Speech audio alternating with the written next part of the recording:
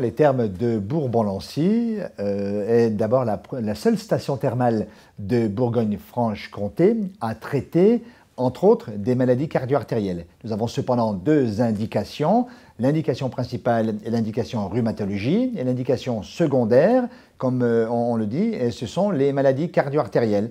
Et effectivement, nous sommes également non seulement la seule de Bourgogne-Franche-Comté à avoir cette double orientation, mais également une des trois de France à avoir euh, cette double orientation. Alors effectivement, depuis combien de temps euh, existe cet établissement? Je dirais depuis 2000 ans puisque les Gallo-Romains avaient déjà, euh, avaient déjà, je dirais, mis en valeur les vertus bienfaitrices de ces eaux chaudes qui jaillissent à 58 degrés dans la cour même euh, de l'établissement.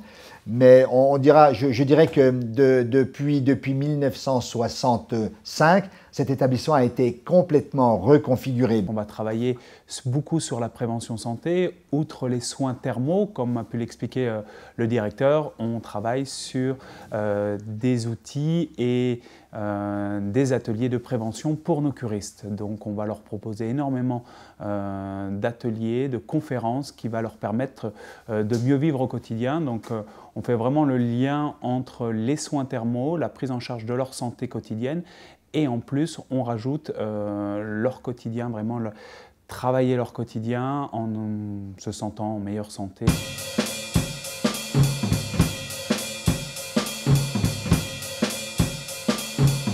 Essentiellement, je dirais euh, l'hypertension artérielle, les séquelles d'infarctus, mais également tout ce qui touche les artériopathies des membres inférieurs. En particulier, d'ailleurs, ce sujet est intéressant puisque nous avons depuis quelques années maintenant seulement un couloir de marche extrêmement performant qui permet effectivement d'avoir euh, des résultats euh, qui sont, qui sont très bons euh, à, ce sujet-là. Alors, outre les soins thermaux qui vont avoir lieu essentiellement le matin, on va proposer, comme je vous l'ai dit avant, des ateliers. Pour les maladies cardio-artérielles, on va travailler sur plusieurs pôles. On va travailler sur la gestion du stress, qui est très importante pour les maladies cardio-artérielles, et notamment on va proposer de la cohérence cardiaque. On va également proposer des ateliers sur euh, la nourriture, sur l'alimentation, qui joue un rôle très important aussi euh, sur les maladies cardio-artérielles, et puis toutes des activités euh, de prévention liées à la reprise d'activité. Donc on va proposer de l'initiation à la marche nordique, on va proposer des activités dans l'eau qui sont moins traumatisantes, puis encore des activités également de gymnastique douce ou de renforcement musculaire qui n'ont plus l'habitude de faire.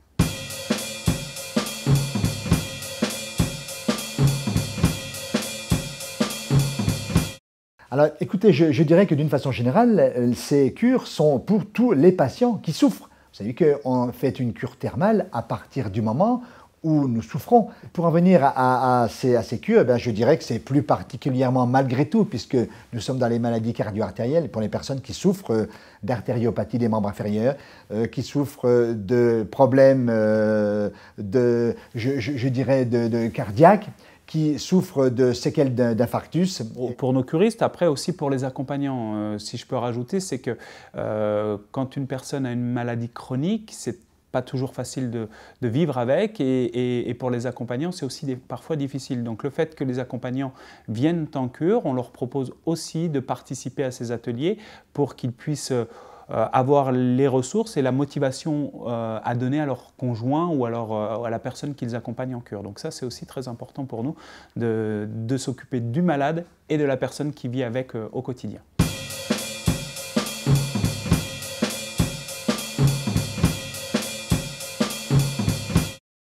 Alors, D'abord, la première des choses, je vous l'ai dit, c'est que le patient puisse s'adresser à son médecin traitant qui fera une demande de prise en charge administrative auprès de la caisse d'assurance maladie.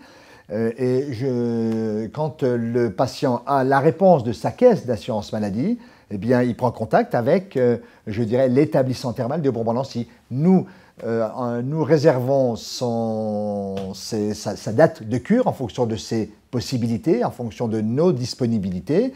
Et puis ensuite, nous établissons à ce patient, en fonction de la prescription que le médecin lui aura établie, les, euh, son parcours de cure pendant 18 jours, puisque la cure thermale, prise en charge par une caisse d'assurance maladie, dure 3 semaines.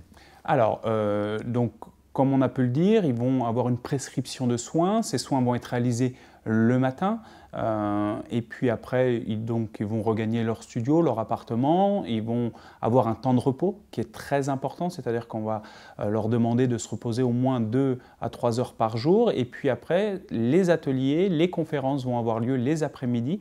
Donc ça permet d'occuper toute la journée de ces personnes euh, et puis de les suivre durant toute leur cure thermale, durant leurs 18 jours de cure.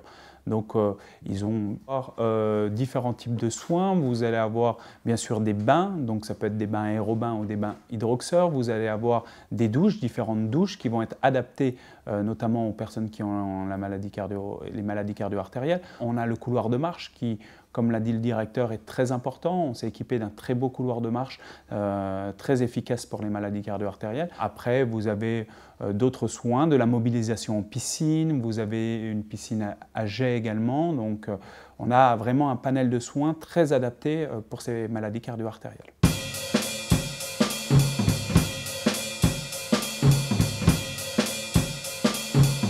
Oui, je dirais qu'ils sont durables, avec des chiffres d'ailleurs qui sont assez éloquents et qui permettent d'ailleurs de montrer, de prouver que la médecine thermale, d'une façon plus générale, mais plus particulièrement pour ces affections cardio-artérielles, euh, ont effectivement un effet durable.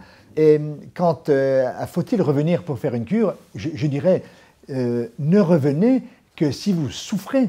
Alors, on, ne va pas, bien évidemment, en un séjour, on ne va pas guérir, on ne va pas soulager ad vitam aeternam les patients. Malgré tout, dans tous les cas, il y a un certain nombre de, de, de, un certain nombre de patients qui ont un soulagement qui dépasse les six mois après la cure. Or, c'est ce que nous recherchons déjà en priorité, soulager le patient sans qu'il soit obligé de prendre de la médicamentation, qui peut d'ailleurs, dans de nombreux cas, donner des maladies iatrogènes, et qui là, qui sont euh, incontestablement des effets négatifs, des effets pervers par rapport à ce que l'on attend d'une cure thermale. Euh, si je prends en général, 97% euh, des curistes qui viennent en station thermale affirment avoir des bénéfices durables jusqu'à 6 mois, même après 6 mois. Donc c'est quelque chose quand même de très important. et puis on a des personnes sur les maladies cardio-artérielles. Plus précisément, on sait que 87% de ces personnes améliorent leur périmètre de marche, en sachant que quand on a une maladie cardio-artérielle, généralement la marche est très impactée, c'est-à-dire qu'on va avoir des difficultés de déplacement. Et si on sait que six mois euh, après, 87% euh, des personnes améliorent ce périmètre de marche, on sait qu'on a eu un effet important sur, euh, sur leur santé. Donc ça, c'est quelque chose d'important.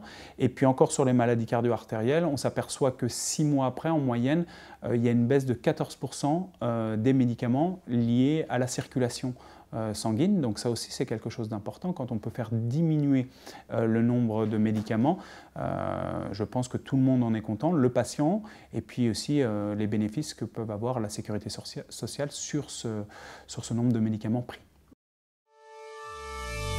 Une réaction? Un témoignage? Commentez ce reportage sur dijonsanté.fr.